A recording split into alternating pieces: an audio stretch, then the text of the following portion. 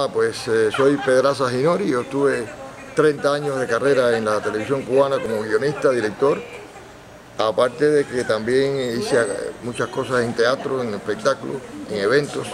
Entonces toda esa experiencia, vivencia, eh, están recogidas en dos libros que he hecho recientemente que se llaman Memorias Cubanas, en las que, eh, se, presenta un poco el insight, lo que está detrás de los programas de televisión que hice y, mi carrera. Hay un capítulo completo del libro que se llama Listas Negras, donde hablo de los artistas, cómo eh, estuvieron algunos censurados durante años y bueno, hubo unos episodios bastante tristes en específica específicamente hablo del caso de Celeste Mendoza, por ejemplo. Estuvo varios años, hablo de Meme Solís también, y de gente que, bueno, estaba, estuvieron por alguna razón, por una u otra razón, ya sea por su vida personal o por sus opiniones políticas, o porque se fueron del país, querían salir del país, etc.